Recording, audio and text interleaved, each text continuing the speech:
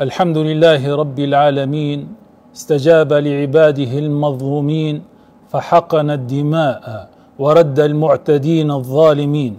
والصلاة والسلام على من بعثه ربه بشيرا ونذيرا ورحمة للعالمين. وعلى آل بيته الطيبين وصحابته الميامين. وعلى من تبعهم بإحسان إلى يوم الدين أما بعد. فيقول الحق تبارك وتعالى إلا الذين آمنوا وعملوا الصالحات وذكروا الله كثيرا وانتصروا من بعد ما ظلموا وسيعلم الذين ظلموا أي منقلب ينقلبون. قال القرطبي رحمه الله في هذا تهديد لمن انتصر بظلم. قال شريح سيعلم الظالمون كيف يخلصون من بين يدي الله عز وجل فالظالم ينتظر العقاب والمظلوم ينتظر النصرة. فنحمد الله تعالى على نصرة عباده ورد المعتدين. ولمن انتصر بعد ظلمه فأولئك ما عليهم من سبيل. وبعد فإننا نبارك لجميع الشرفاء الخيرين هذا النصر المؤزر وإزاحة جحافل العدوان عن العاصمة طرابلس والمناطق المحيطة بها كما نهنئ النازحين والمهجرين بالعودة إلى منازلهم رغم الدمار الذي أصاب أكثرها. ونسأل الله عز وجل أن يتقبل من قضوا من قضوا منا نحبهم في الدفاع عن الأعراض والأنفس والديانة وأن يجعلهم في عليين مع النبيين والصديقين والشهداء والصالحين وأن يتجاوز عنهم ما أسلفوا وأن يجزيهم عن أهل هذه البلد خير الجزاء وأن يحفظ المرابطين على الثغور من جيشنا الوطني الباسل بحكومة الوفاق الوطني والقوات المسانده لهم ويوفقهم لكل ما فيه خير وصلاح للبلاد والعباد. أيها الإخوة إن هذه الحرب الضروس الغاشمة التي عصفت بالعاصمة وما جاورها علمت العالم وأكدت للشعب الليبي دروسا عظيمة في الإيمان والعقيدة وفي كل جانب من جوانب الحياة ومنها أن الله ناصر عباده المظلومين ولو بعد حين ويستجيب لمن ناجاه في جوف الليل شاكيا إليه تهجيره ومعاناته وألمه. ومنها أن الله لا ينصر خارجيا مارقا لا يرقب في مؤمن إلا ولا ذمة ويأبى إلا أن يصل إلى كرسي الحكم ولو على جثة جميع الليبيين الموحدين. كما فعل مجرم الحرب حفتر. ومنها أيضا أن كل ما قالوا ورفعوا من شعارات زائفة تبريرا لهذه الحرب الآثمة على العاصمة إنما هو مطية إلى الحكم والتسلط لا أكثر. فلما تقهقر المجرمون وتراجعوا في محاور القتال زرعوا الألغام الفتاكة في بيوت الآمنين وألعاب أطفالهم وخزائن ملابسهم ليفتكوا بالمدنيين ويبيدوا أكثر عدد منهم ومن أطفالهم ونسائهم. وما كان هذا يوما شأنا يتصف به من أراد بالناس خيرا أو خلاصا كما زعم المفترون.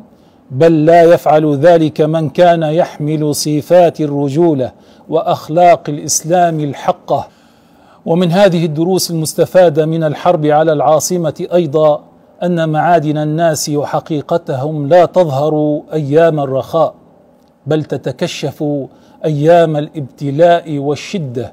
وعليه عرفنا في بلادنا خلال هذه الحرب خطر وحجم رويبضات الإفتاء العشوائي الذين ضلوا وأضلوا كثيرا وأغرقوا البلاد في حمامات الدماء كما هو حال حاملي لواء الخوارج ومنظري البغاة طارق درمان وحمد بودويرة وغيرهم ممن تجاسروا فوقفوا على البنابر وكذبوا الحقائق التي كانوا يرونها رأي العين وكذبوا باسم الدين وعلماء الشريعة وغرروا بالشباب وشرعنوا سفك دماء أهل المنطقة الغربية ودمروا بيوتهم حتى فضح الله كيدهم على رؤوس الأشهاد.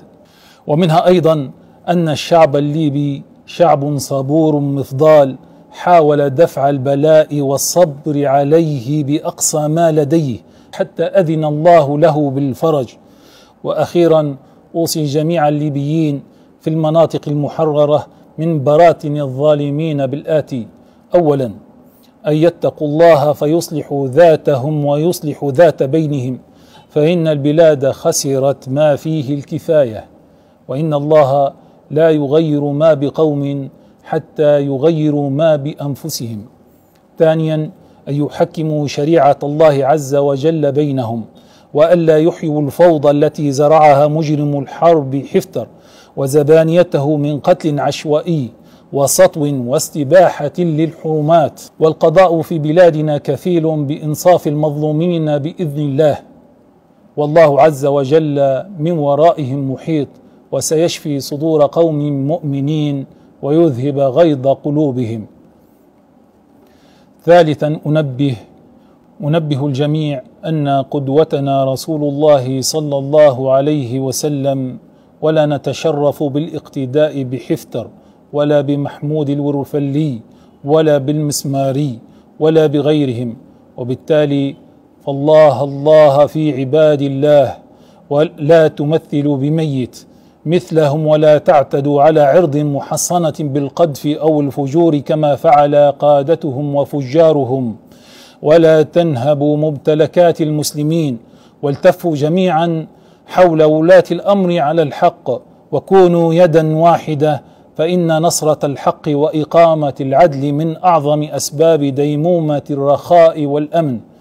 رابعا كما أكدنا مرارا في بياناتنا السابقة أذكر أهل العلم والخطباء والوعاظ والحكماء والأعيان بواجبهم خلال هذه المرحلة العسيرة من صدع بالحق ونصرة له ودفع للشبهات والأخذ على يد الظلمة وتوعية العامة فكلكم راع وكلكم مسؤول عن رعيته. خامسا اوجه ندائي إلى أهلنا في مدينة ترهونة الذين عانوا لسنين من جبروت مجرمي الكان ومقاتليهم وتحملوا كثيرا حماقات المدعو الفاندي الذي شوه الواجهة الاجتماعية للمدينة العريقة المجاهدة.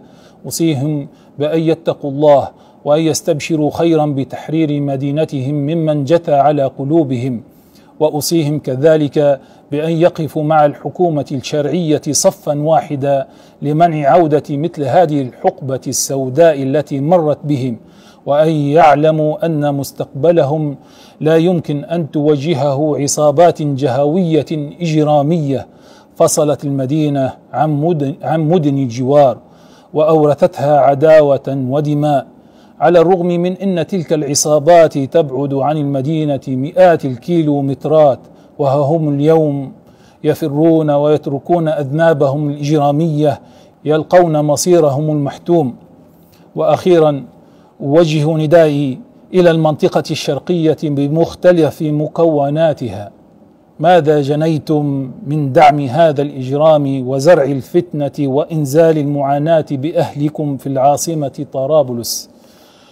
اما كفاكم نصره للظالمين اما كفاكم ما فقدتم من فلذات اكبادكم اما كفاكم ترميلا لنسائكم وتيتيما لاحفادكم اتقوا يوما ترجعون فيه إلى الله ولا تركنوا إلى الذين ظلموا فتمسكم النار فهذا الذي اعتاد البلطجه والسفه لا يمكن لا يمكن أن تبنى معه دولة تنافس الدول المزدهرة. وقد رأيتم من هؤلاء أكثر مما رأينا وسمعنا. وقد علمتم وقد علمتم الأطماع الحقيقية وراء تضييع أبنائكم فلم تكن لإعلاء كلمة لا إله إلا الله ولم تكن لحرب الخوارج ولم تكن لحماية الأوطان والأعراض كما يدعي. فما كانت إلا حربا ضروسا على السلطة ولتفويض مشير الخراب والدمار والدماء. والحمد لله أن سمعنا منه ذلك قبل أن يدحر منبوذا هو وجنده خارج مدينة طرابلس وترهون. كما أخاطب أنصار النظام السابق الذين اختاروا الجفاء وعدم الاندماج بالوطن وحلته الجميلة وانضم كثير منهم إلى قيادة الإجرام في الرجمة في هجومهم على العاصمة ثم ترنحوا عن صفوفها أقول لهم إن قطيعتكم المستمرة وجفاءكم المستديم وبعدكم عن دينكم ثم وطنكم وعدائكم المتكرر لمن فيه ولزومكم أطلال الماضي لا جدوى منه لكم ولا مبرر له في الدين ولا الدنيا بل ولا نفع مستقبلي يرجى منه لا لكم ولا لأبنائكم الذين قاسوا مرارة الغربة وتطاول عليهم كل معتوه خارج البلاد. فاتقوا الله في من وراءكم وتصالحوا مع وطنكم وأهلكم فإن سعه بين الأهل على تراب الأوطان أشرح للقلب من سنوات خارجه ولو كانت النفس تتقلب في نعيم الغير ازمانا لا حول ولا قوة إلا بالله العلي العظيم وله الأمر من قبل ومن بعد وهو ولي الصالحين والحمد لله رب العالمين.